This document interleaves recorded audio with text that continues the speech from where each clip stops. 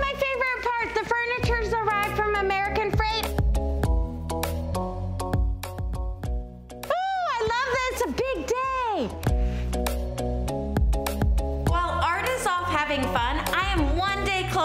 Making this house feel like a home. And honestly, I can't do it without amazing sponsors like American Freight Furniture, Mattress, and Appliance. Because think about it, they help me look good. They have affordable new furniture that has signature colors and even neutrals for the people who maybe aren't as bold in design as I am. But for this house, it was all about making it feel comfortable, adding color, face it, Jacob's not gonna want a house that feels like a girl's first apartment, so I'm bringing in some natural elements. Wood, a dining table that has a darker, heavy wood tone to it. In the kids' rooms, it's all about color and happiness.